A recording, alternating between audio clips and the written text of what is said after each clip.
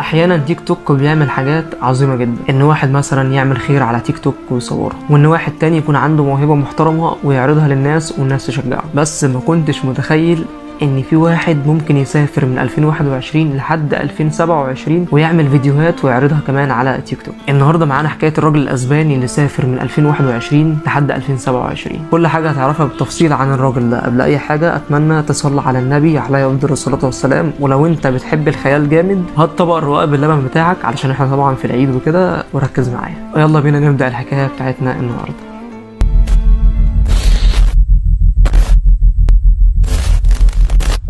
تخيل معايا كده إن في شخص بيصور فيديوهات من 2027 أيوه زي ما سمعت كده بالظبط 2027 إحنا السنة دي 2021 فده بيصور فيديوهات وعارضها على تيك توك في 2027 صاحب الحكاية اللي بنتكلم عليه النهارده بيدعي أو بيقول إن هو كان في غيبوبة ولما فاق من المستشفى اكتشف إنه موجود في 2027 لدرجة إنه صور المستشفى ولقاها فاضية خالص ما فيهاش أي حد. وعلشان يتأكد أكتر إنه فعلا في 2027 مش في 2021 نزل تحت وقف قدام المستشفى وصور المكان وفعلا ما لقاش حد موجود في الشارع. ولما الناس كدبوه وقالوا له لأ أنت أكيد مصور الكلام ده. وقت الحظر أو مصوره في وقت آه الناس ما بتكونش فيه موجودة آه كالعادة. أنت ممكن تكون مصوره الساعة 5 الصبح 6 الصبح في وقت فيه حظر وفيه كورونا. كان التحدي إن هو يروح المترو ويروح أماكن فيها ناس كتير وفيها حركة. ويصور لهم الفيديوهات دي من هناك. وطبعا صور الفيديوهات دي وعرضهم على التيك توك. والفيديوهات دي جابت له نسبة مشاهدات عالية جدا ولدرجة إن الناس ما صدقتش اللي هو بيعمله. بس الحقيقة الحكاية مش بالبساطة دي. الموضوع أكبر من كده بكتير. لأنك كل ما تتابع فيديو للراجل ده وتتابع تحدي من ضمن التحديات اللي الناس بتعرضها عليه هتصدق الفيديوهات اللي أنت شايفها قدامك دي. بعد تالت فيديو أو رابع فيديو الناس بدأت تتحداه إن هو يروح يصور في أماكن عامة أماكن كل الناس بتخرج فيها زي المترو الأنفاق زي الإقسام زي المستشفيات الحكومية زي الطرق العامة اللي بيمشوا فيها كل الناس. وطبعا بالفعل الراجل الأسباني ده عمل اللي هم طلبوه منه. وإن الفيديوهات دي فعلا مش قديمة الفيديوهات دي فعلا متصورة في 2027 الموضوع ما وقفش عن الناس اللي بتطلب تحدياته بس ده كمان في قناة تلفزيونية طلبت منه تحديات علشان يعرفوا إذا كان فعلا هو عايش في 2027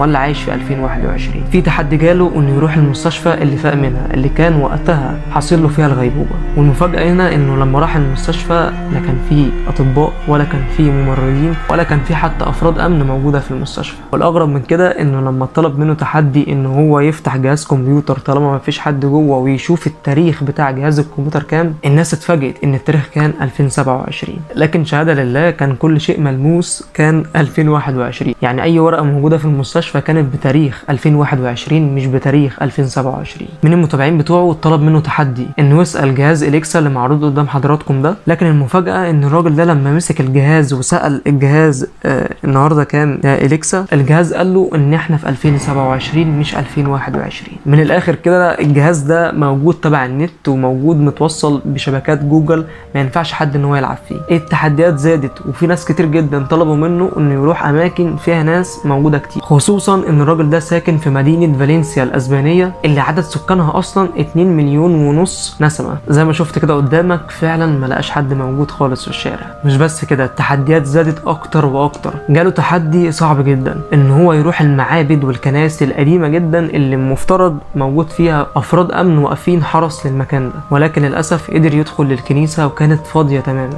وما فيهاش أي حد. التحديات زادت أكتر وطلب منه إن هو يروح المطار. ولما راح المطار ودخل الصالة بتاعة المطار كل الناس اتفاجئت إن صالة المطار فاضية تماما. والغريب بقى في ده كله إن كان في رحلات مجدولة. يعني في رحلات كانت المفروض إن هي كانت تطلع في وقت قريب.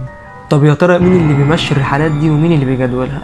الله أعلم. التحديات زادت أكتر. اتطلب منه إنه يروح القصر الأسباني اللي موجود في فالنسيا ويدوله 500 ألف دولار لو قدر ينفذ التحدي وينجح فيه.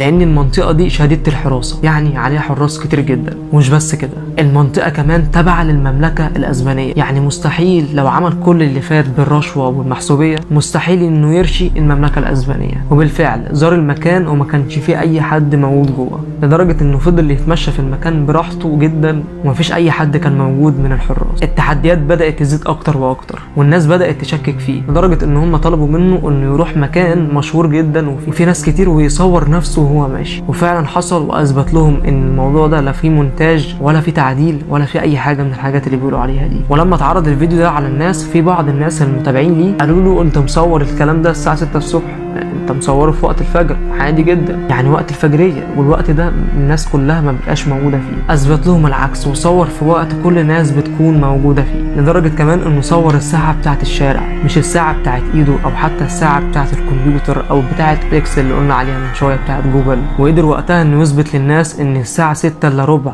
المغرب لدرجة إنه طلب منه إنه يروح ملعب فالنسيا الأسباني وإنه يخش الملعب وكمان يخش غرفة اللعيبة بتاعة الملابس. وبالفعل عمل كده وأثبت لهم إنه هو الوحيد اللي جوه الملعب وهو الوحيد اللي جوه غرفة الملابس. ومش بس كده واحد من ضمن متابعينه طلب منه إنه يروح حديقة الحيوانات. وكانت المفاجأة إنه لما راح حديقة الحيوانات ما لقاش فيها أي حيوان موجود في الحديقة. إنك أنت تسافر عبر الزمن من 2021 لحد 2027 وتشوف العالم بقى عامل إزاي فدي حاجة أنا بصراحة بحبها جدا. خلينا نشوف اليومين الجايين هيحصل إيه. هكون متابع معاكم لحظة بلحظة حساب الراجل ده. وإن شاء الله هعرض لكم طول الوقت هو بيعمل إيه وهيعمل إيه الفترة اللي جاية. أتمنى لو عجبك الفيديو ده أتمنى تعمل لايك تشجعني بيه إن أنا أستمر في النوعية دي من الفيديوهات. وأتمنى تعمل تعليق برأيك. هل أنت فعلا مصدق إن ده كله حقيقة؟ ولا في خيالك إن الكلام ده فوتوشوب ومونتاج مستني تعليقاتكم وكل اقتراحاتكم على الفيديو ده. واشكركم جدا على المشاهدة لحد النهاية. أشوفكم على خير بإذن الله في فيديو تاني جديد. كان معاكم يوسف سعيد.